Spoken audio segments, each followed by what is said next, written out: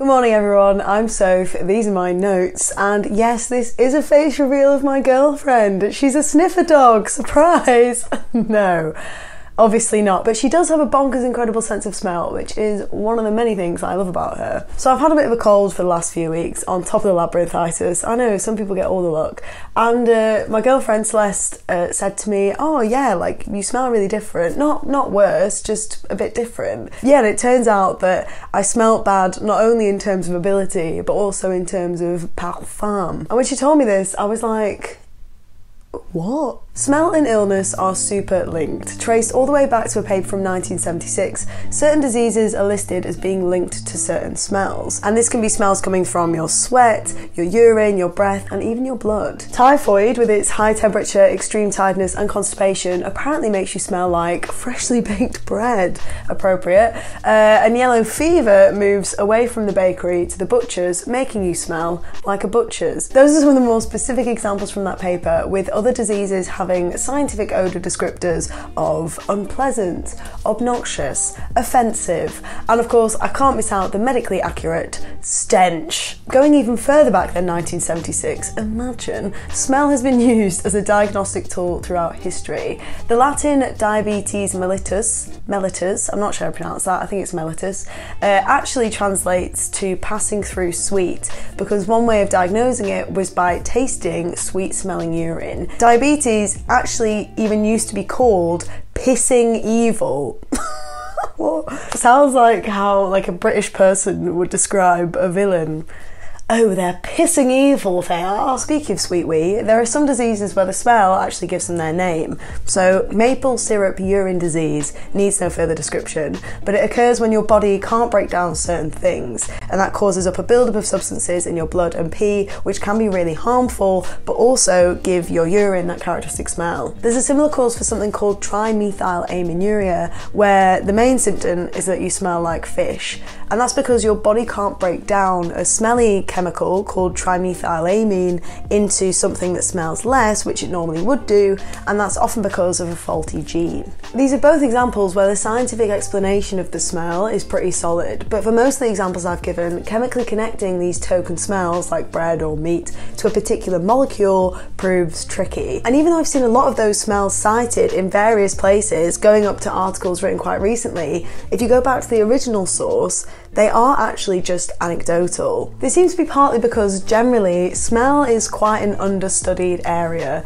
in a lot of science. Volatile compounds is the name we give to chemicals that give things their smells, and there's so many of them that isolating them and naming them and you know separating them seems like quite a mammoth task, and arguably one that doesn't look that valuable. Organic chemists are probably the people in the scientific community that care the most because they're always huffing and sniffing all sorts. But maybe we need to get like perfumiers to do lectures, guest lectures at universities to make us all realise the value of smell science and of honing your nose, of honing, nosing, noning, there's something in there. And it's not just science that turns a blind nose to smell. We as individuals generally, not everyone's like this, but I feel like most of us don't really pay as much attention to what we smell as what we see or hear, for example. You know, we find it harder to describe smells, to pinpoint specifics about them. We don't even really have the vocabulary to describe them very well, at least in my culture, in my language. And I get it, sight and sound feel like more tangible ways of experiencing our environment, but smells are really powerful too, for everything from inducing memories to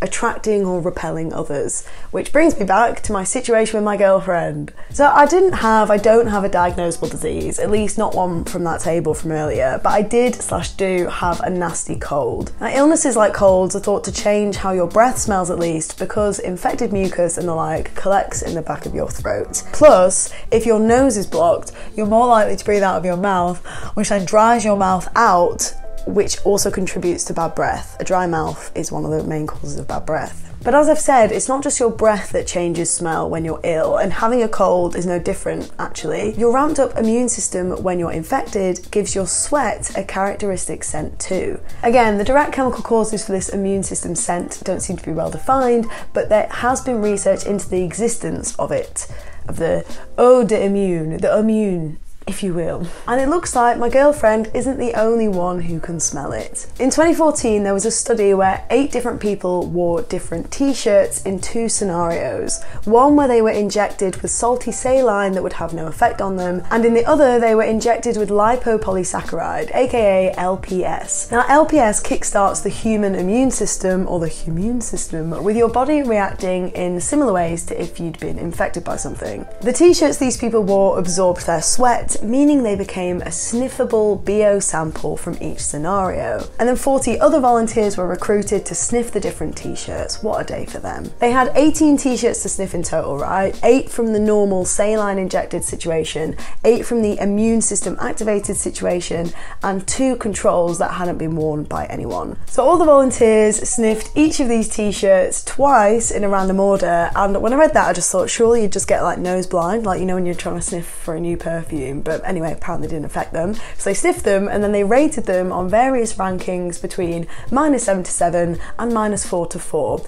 Who knows why those are the numbers they chose, but anyway. The results were that the immune activated t shirts were ranked as more intense, less pleasant, and less healthy than the others. And of course, right, the people didn't know what they were sniffing, so they ranked these without knowing which were the immune t shirts and which weren't. Now, it's worth noting that these t shirts were worn just a few hours after these people's immune systems had been activated, so it's most likely well before the person wearing them even knew their immune system was activated. They probably weren't presenting any external symptoms of that activation, but the difference could still be smelled. So, there's some evidence beyond my anecdote about Celeste to suggest that we can smell when people are ill whether we know that that's what we're smelling or not. And the theory is that we've evolved this simply to keep away from things that are bad for us, including ill people. It's even been shown that smelling nasty smells like rotten yeast will actually boost your immune system to kind of supposedly prep you for coming into contact with something a bit nasty. Makes sense. But beyond their evolutionary benefits, disease linked odours these days have another advantage. Even if we don't know the specific chemical causes of these smells, there are still many ways that we're putting the nose in diagnosis and using them to spot diseases, from detecting them in labs to detecting them with labs. Medical detection doctors have been trained to sniff out all sorts, from prostate cancer to COVID. For COVID, all they have to do is sniff a sock worn by someone who had it and they can detect it. While they're pretty accurate, no one is suggesting that dogs should be used as a diagnostic tool on their own, but rather that they could be used in combination with other things to help detect diseases, potentially before any noticeable symptoms develop. And they're great because it's non invasive, right? You don't need to inject someone with a dog in order to get the dog to smell them. Beyond diagnosis, assistance dogs can be employed to help people living with a range of diseases, from POTS, postural tachycardia syndrome, to pissing evil, sorry, I mean, diabetes. Dogs can be trained to warn their owners of various things, from impending fainting episodes to low blood sugar. But it's not just dogs and my girlfriend that can sniff out illness.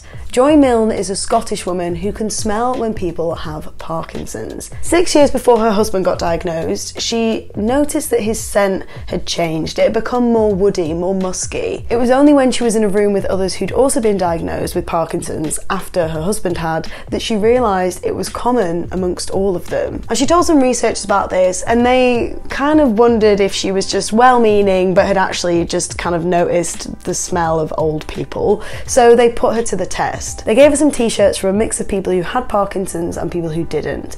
She correctly identified all of those with Parkinson's, but did incorrectly select one who didn't. At least the researchers thought she was incorrect until eight months later, the person who'd worn that t shirt was then diagnosed with Parkinson's. She'd sniffed it out before their diagnosis.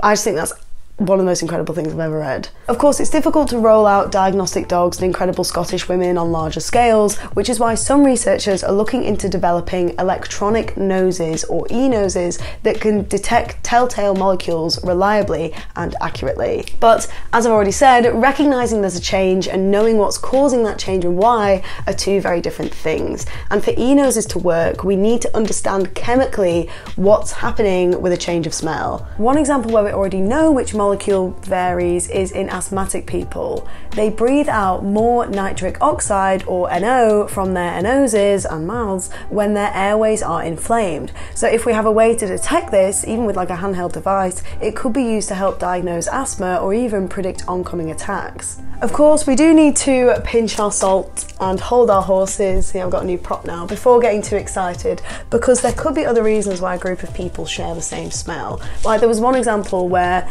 some researcher got really excited because it seemed like everyone in a hospital was breathing out the same molecule, but it turned out that that was just a volatile compound that was from the cleaning fluid that they used in the hospital. So not as exciting as they hoped. Nevertheless, the more research we put into detecting and researching and isolating volatile, aka smell compounds, then the more likely we'll be able to detect some of these diseases early. And this is a game changer for any disorder, but especially those like cancer and neurodegenerative diseases like Parkinson's, where time is of the essence, and early detection gives us more opportunities for treatment. That's it for now though everyone. Please do like this video if you like it, share it if you share it, subscribe if you subscribe it, media my socials if you want to do that, and comment with your smell ability. Can you sniff when someone's ill? What is your relationship to smell? Let me know. I don't end up replying to all comments because I get a bit overwhelmed, but I do read them all and I really appreciate them all, so thank you for your comments. Otherwise, all I have to say is thank you so much for watching, have a lovely day, and remember, the only nose job you need is to give your nose the job